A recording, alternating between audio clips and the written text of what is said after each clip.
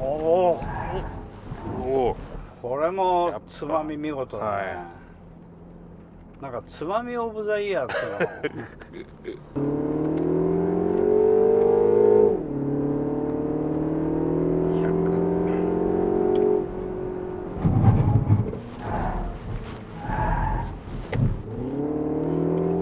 もうパッて来た瞬間にサンとこうつまむんだよね,、もう電光石火のようなずっつまみと、ちゃんと打が効いてるっていう感じですよね。ダブルエンですけどもこれもステアリングをポンと切った瞬間にフロントにキュッとこうブレーキをかけてそれも必要最小限のあのつまみしかしてないのでなんかこうつまみオブザイヤーみたいなものがあったらやっぱこの車はイヤーカーに。でやっぱりその辺はあのベースの車良くないとっていうのもあるんですけどやっぱりあのその評価ドライバーというかねこれをチューニングしていく中で本当にきめ細かく実車テストをしてるのかなという気がしてます。はいまあ、最近シミュレーションとかっていう話多いですけど最後のところは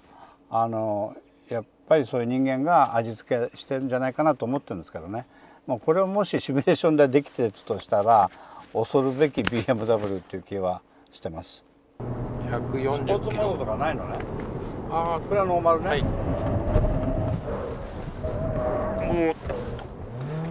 おー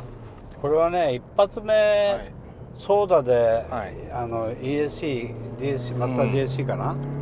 ブレーキつまむんだけど、はい。離すの早いから車速がふって上がっちゃう、はいはいはい。で次ちょっとアンダー気味になってましたね。あと0.2秒つまんでてほしいなみたいな、日本酒はつまみすぎかつまみ離すのが早すぎか。どっちかだ スポーツモードにしました。ESC の敷地が違うのかうな、ん可能性あります。サスは一緒だよな、はい。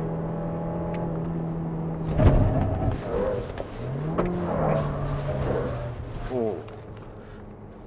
なんか自由度が上がりましたかね？うーんそうだね。まあ ESC はあんまり違いはうん。感じられなかったけど、ダブルレーンは一発目すぐにつまむんですけどちょっと放つのが早いんでスッてこう車速が落ち期待したよりもちょっと車速が落ちないので元のレーンに戻る時にちょっとオーバースピードのアンダーステア気味になっちゃうんですけど日本車ってこのつまみが強すぎるか放つのが早すぎるかって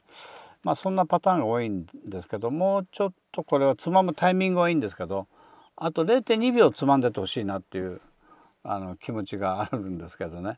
まあそんなことを言ってるのは多分私ぐらいだと思うんですけどあのダブルレーンやる限りは、まあ、そこそこうまくこなしてるとは思います。まあ、印象はとにかくあの悪いところがないすごく優等生的な車でした。まあ、しかし、えー差別化ってことを考えた時にあんまり記憶が残らな残らないのでこれからやっぱり差別化時代になった時にやっぱりそこは松田としても考えていかなきゃいけないのかなと思います。